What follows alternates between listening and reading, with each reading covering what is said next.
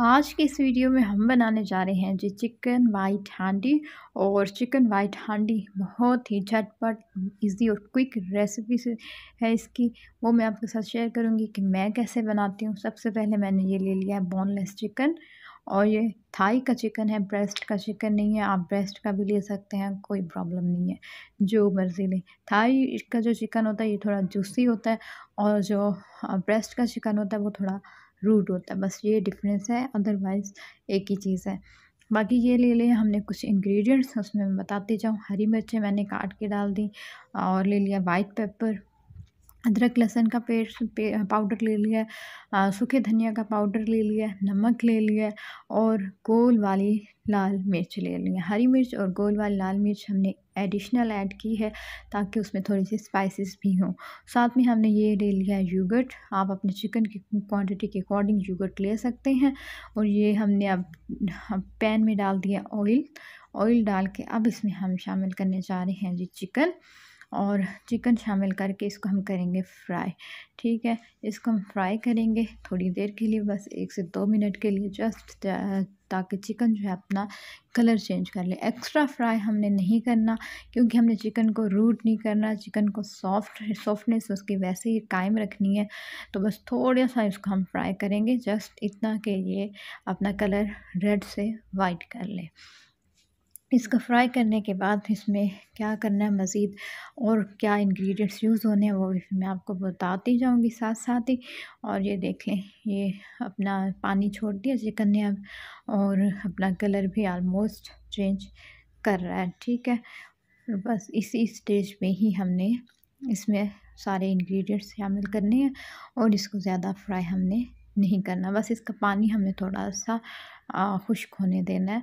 इसका पानी खुश्क हो जाए तो फिर हम इसमें तमाम इन्ग्रीडियंट्स को शामिल करेंगे। बहुत इजी बन के तैयार हो जाती है, झटपट बनती है। जस्ट आपको फाइव टू टेन मिनट्स लगते हैं इसको कुक करने में, क्योंकि बोनलेस चिकन है, इसको टेंडर होने में भी टाइम नहीं लगता, ये तो फ्राई होने में ही टेंडर हो जाता है। और झटपट तैयार होती है, बच्चों, बड़ों, बूढ़ों सबकी बहुत फेवरेट रेसिपी है। और मज़ीद जो है मैं इसमें डाल देती होती हूँ हरी मिर्चें और साबित को लाल मिर्च ताकि थोड़ा स्पाइसेस का तड़का भी हो। काली मिर्च भी आप शामिल कर सकते हैं, काली मिर्च ज़रूर शामिल करें। तो अभी मेरे पास थी नहीं, ख़त्म हुई हुई थी तो मैंने वो डाली नहीं तो वो ज़रूर आप शामिल करें, उससे भी बहुत टेस्ट इसका इन्हांस हो जाता है। वाइट पेपर इसका जो है लाजमी इन्ग्रीडियंट है, क्योंकि उससे ही इसका टेस्ट बनता है, उसके अलावा इसका टेस्ट नहीं बनता। तो वो ज़रूर आपने शामिल करनी है। और साथ ही मैंने ये इसमें अब डाल दी है दही। दही डाल के अब इसको हम अच्छी तरह, दही डालने से पहले आप अच्छी तरह दही को फेंट दिया करें ताकि दही फटे ना, उसमें लम्स ना बने। और फ़ौरन ही चम्मच हिलाते हुए इसको मिक्स कर दिया करें।